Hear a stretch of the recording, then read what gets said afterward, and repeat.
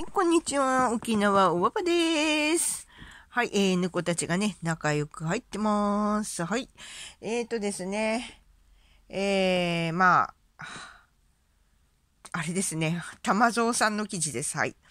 えー、黄金の金玉を知らないかの記事になっております。えー、まあ、例のね、ローのシアシアのね、ことなんですけど、ちょっと興味深いことが出てきました。はい。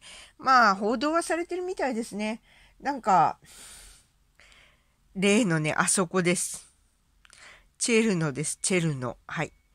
チェルノの VV をね、えー、制圧したと。はい。あそこはね、やばいですからね。まあ、よく行きましたよ。あんな高線量のところに、はい、防護服でも着てないとダメでしょ、あそこは。はい。そう思いますね。はい。えー、まあ、そういうわけでね。えー、もう時間の問題ですね、これね。き、ね。時間の問題です。これ、うーのね。うーのクラクラいないですね。うーのクラクラいなにね。えー、こう、もうね。多分時間の問題です。ウクライナはね。はい、えー、時間の問題だと思います。はい、えー、ロのシアシアにね、お戻りになると思いますよ。はい、そういうことですね。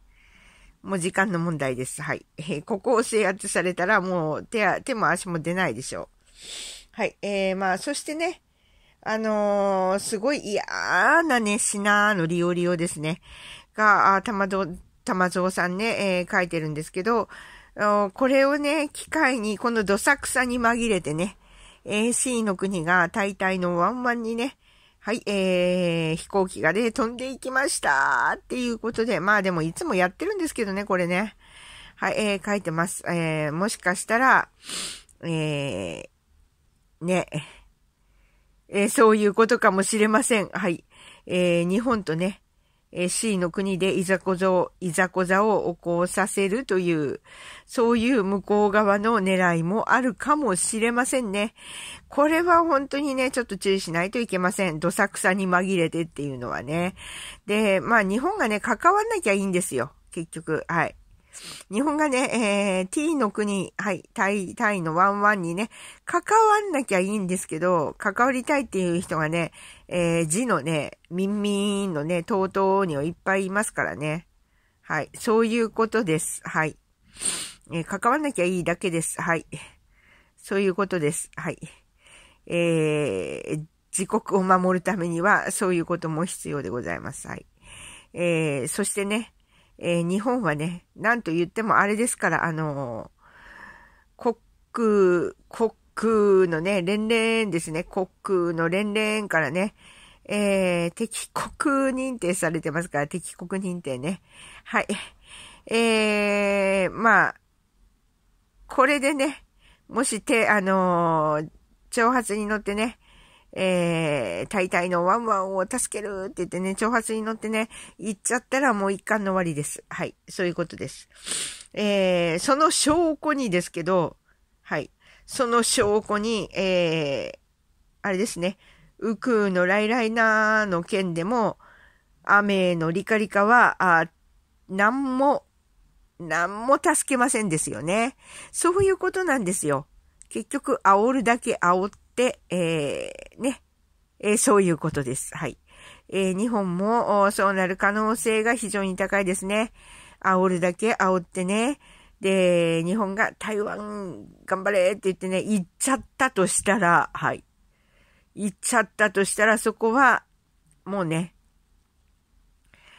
えー、向こう側の思惑通りということになります。はい。ちなみにね、えー、あの、岩石あの、岩石さんですね。あの、ロックのね、ロックンロックンのね、フェラーリさんがね、書いた書籍。はい。えー、どういう書籍、書籍があるか知ってますでしょうか？はい。ロックンロックンのフェラーリさんがね、C 国について、えー、書いたんですよ。次のね、N の W の O, o はね、C 国が中心になるぞーって書いてる本があるんです。はい、えー、まあよかったら一度目を通してください。向こう側のシナリオというのはそういうことなんですよ。はい。えー、なのでね、えー、まあ、なんて言ったらいいんだろう。私もね、C 国の一般市民の人は、あ割と好きです。はい。いい人多いです。はい。悪い人はそんなにいないです。はい。日本と同じですね。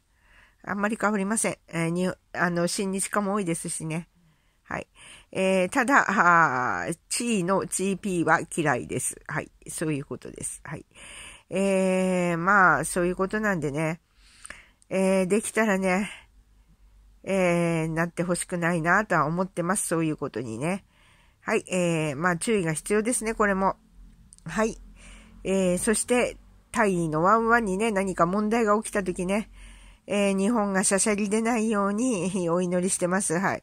しゃしゃり出たらもう一発で終わりです。はい。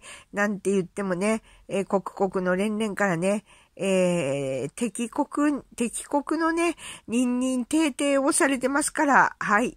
それがまだ取り消されてませんからね。はい。そういうことなんですよ。はい。もう出て行ったら、しゃしゃり出て行ったらもう一巻の終わりです。はい。そういうことです。